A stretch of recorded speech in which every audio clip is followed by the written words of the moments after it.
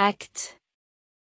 Chapitre 1 En effet, j'ai fait le premier discours, au Théophilos, concernant toutes les choses que Yehoshua commença de faire et d'enseigner, jusqu'au jour où il fut enlevé, après avoir donné à travers l'Esprit Saint ses ordres aux apôtres qu'il avait élus.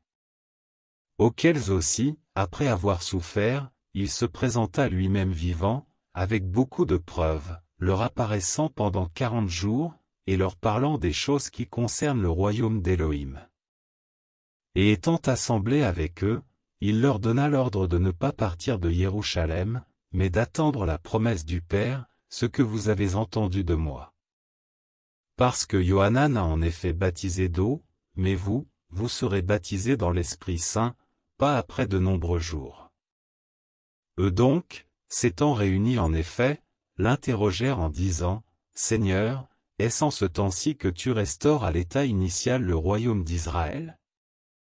Mais il leur dit, Ce n'est pas à vous de connaître les temps et les mesures de temps que le Père a fixés de sa propre autorité. Mais vous recevrez la puissance du Saint-Esprit qui viendra sur vous, et vous serez mes témoins non seulement à Jérusalem, mais aussi dans toute la Judée et la Samarie, et jusqu'aux extrémités de la terre. Et après qu'il eut dit ces choses, pendant qu'il regardait, il fut élevé, et une nuée le prit et l'emporta de devant leurs yeux. Et comme ils avaient les yeux fixés vers le ciel pendant qu'ils s'en allaient, voici, deux hommes en vêtements blancs se présentèrent devant eux et ils dirent, Hommes galiléens, pourquoi vous tenez-vous là regardant vers le ciel Ce Yehoshua qui a été enlevé au ciel du milieu de vous, viendra de la même manière que vous l'avez vu allant au ciel.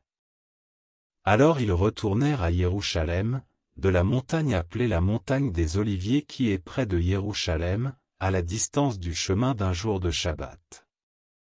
Et quand ils furent entrés, ils montèrent dans une chambre haute où demeuraient Pétros et Yaakov, et Johanan et Andréas, Philippos et Thomas, Barthalmaï et Matthios, Yaakov, fils d'Alphéios et Shimon le Zélote, et Yehuda, frère de Yaakov. Tous ceux-ci, d'un commun accord, persévéraient dans la prière et dans la supplication avec les femmes, et Myriam, mère de Yehoshua, et avec ses frères. Et en ces jours-là, Pétro se leva au milieu des disciples, qui étaient rassemblés au nombre d'environ cent vingt personnes, et il leur dit, Hommes frères, il fallait que fût accomplie cette écriture que le Saint-Esprit a prononcée d'avance par la bouche de David au sujet de Yehuda, devenu le guide de ceux qui ont saisi Yoshua. Car il était compté avec nous et avait obtenu par tirage au sort le lot de ce service. En effet, après avoir acquis une terre avec le salaire de l'injustice qui lui avait été donnée, il est tombé la tête la première, s'est rompu par le milieu, et toutes ses entrailles ont été répandues.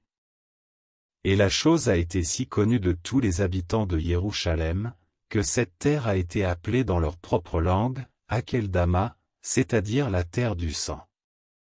Car il est écrit dans le livre des psaumes, que sa demeure devienne déserte, et qu'il n'y ait personne qui habite en elle et qu'un autre prenne sa fonction de surveillant.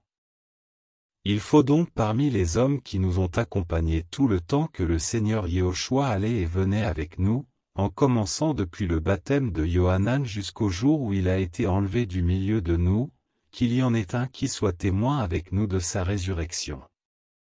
Et ils en présentèrent deux, Yosef, appelé Barsabas, surnommé Juste, et Mathia. Et en priant, ils dirent, Toi, Seigneur, qui connais les cœurs de tous, désigne lequel de ces deux tu as choisi, pour prendre le lot de ce service et de cet apostolat que Yehuda a abandonné pour aller en son lieu. Et ils jetèrent le sort sur eux, et le sort tomba sur Mathia, et il fut désigné par vote pour être avec les onze apôtres.